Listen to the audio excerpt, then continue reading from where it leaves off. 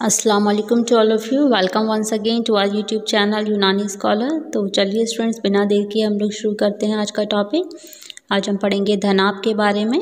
धनाब बहुत ही important topic है इसे अदला का और ये अक्सर एग्ज़ाम में भी असलाहत ये पूछ ली जाती है. धनाब क्या है, किस दवा के लिए मखसूस है. और अक्सर वाइवा में भी एग्ज़ाम ये पूछ लेते हैं.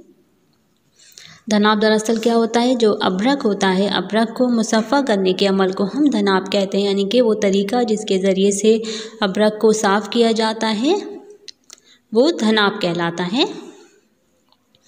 इसमें हम क्या करते हैं? अबरक आप सभी लोग जानते होंगे, अब्रक एक मादनी दवा है जो परतों की शक्ल में चमकदार परत परतों की शक्ल में ये होता है और ये इसको अगर हाथ से तोड़ा जाए तो ये हाथ से तोड़ने पे टूट जाता है, ये चूर चूर हो जाता है।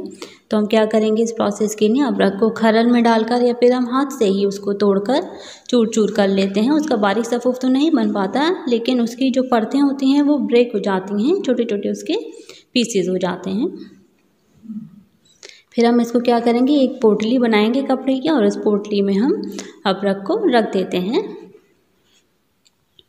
इस पोटली में क्या करते हैं? अदरक के साथ हम छोटे छोटे से पत्थर डाल देंगे या फिर धान डालते हैं हम। ये जो धनाब का लफ्ज़ बना है, ये इसी धान से बना है क्योंकि ज़्यादातर जो हम अदरक के साथ इस पोटली में शामिल करते हैं, वो हम धान शामिल करते हैं। लेकिन अगर आपके पास धान मौजूद नहीं है तो उसके लिए छोटे छोटे पत्थर भी डाल सकते हैं या फिर सीड तुख्म का इस्तेमाल भी कर सकते हैं। उस पोटली में हम अदरक के साथ तुख्म भी डाल सकते हैं, पत्थर भी। लेकिन कॉमनली जो डाला जाता है इस प्रोसेस में अदरक के साथ, वो धान शामिल किया जाता है।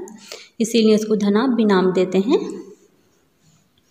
ये हम, ये धान और सीड इसमें क्यों शामिल करें? ताकि जब हम इस पोटली में अदरक के साथ धान या ये भी, ये बीज शामिल करके इसको जब हम हाथ से रगड़ते हैं तो हाथ से रगड़ने से क्या होता है? फ्रिक्शन पैदा होता है इसके बीच में। अदरक के और धान के बीच में फ्रिक्शन की वजह से जो अदरक है हमारे, ये बहुत छोटे छोटे टुकड़ों में ये तकसीम हो जाती है।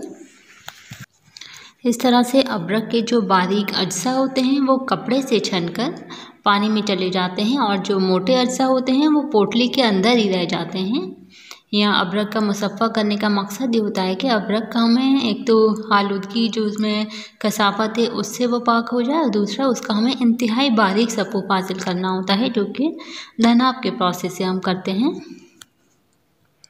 जब ये अमल पूरा हो जाता है तो हम क्या करते हैं? पोटली को पानी से निकाल कर अलग कर लेते हैं और पानी के अंदर जो छन के उसको हमने जब फ्रिक्शन पैदा किया, उसको पोटली को हमने हाथ से दबाया तो जो छन कर अबरक पानी में जमा हुई है, उसी को, उसको हम क्या करेंगे? कुछ देर के लिए उसको पानी में छोड़ देते हैं ताकि वो आहिस्ता आहिस्ता जो बारीक बारीक अबरक पानी में मौजूद है, वो तहनशीन हो जाए, यानी कि सेडिमेंट हो जाए।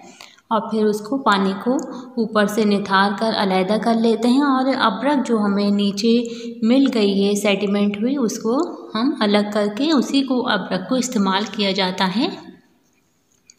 क्योंकि अबरक के साथ पोटली में आमतौर पर धान शामिल किया जाता है, इसी मुनासबत से इस अमल को धनाब कहते हैं, धान प्लस आप आप कहते हैं पानी को। इसीलिए इस प्रोसेस को धनाब नाम दिया गया है। अबरक मुसफ़ा का एक दूसरा नाम भी है। अबरक मुसफ़ा को अबरक महलूब भी हम कहते हैं। महलूब बनाए हलीब से। हलीब कहा जाता है दूध को।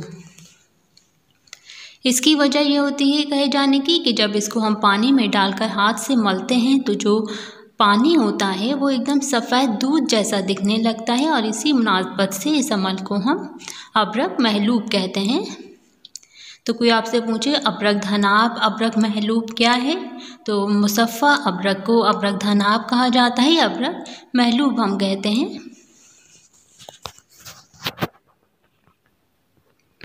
अबरक को अगर मुसफ़ा ना किया जाए तो क्या होगा? अबरक को अगर हम मुसफ़ा नहीं करते हैं तो ये जब हम इसको ओरली इस्तेमाल कराते हैं, यानी कि मरीज़ को हम मुँह के ज़रिए इसको जब इस्तेमाल कराया जाता है तो ये हमारे हलफ में और मरी में, यानी कि थ्रोट में और ईसोफेगस में ये चिपकने लगता है अबरक की प्रॉपर्टी होती है कि वो चिपकने लगता है, इसलिए इसको मुसफ़ा होने के बाद भी इसको किसी बदरखे के साथ बदरका उस चीज़ को कहते हैं, जिसके ज़रिए हम दवा को इस्तेमाल करते हैं, चाहे वो पानी भी हो सकता है, अगर हम पानी से दवा ले रहे हैं, दूध से दवा ले रहे हैं, या किसी अर्क से, शरबत से दवा ले रहे हैं तो जिस भी चीज़ से हम दवा ले रहे हैं, उसको बदरखा कहते हैं। तो अबरक का अगर हम इस्तेमाल कर रहे हैं तो इसके साथ लुआब में समक अरबी का महलूल तैयार किया जाता है। उसके महलूल में अबरक को डिज़ोल्व करके इस्तेमाल कराते हैं। तो ये हमारे जो मरी में, यानी कि ईसोफेगस में और हलक में नहीं चिपकती और इसके लिए शर्त है कि अबरक का इंतहाई बारीक सफूफ होना चाहिए, जो कि हमें धनाब के प्रोसेस से हासिल होता है। Okay students thank you so much. I hope uh, you understand very well. Okay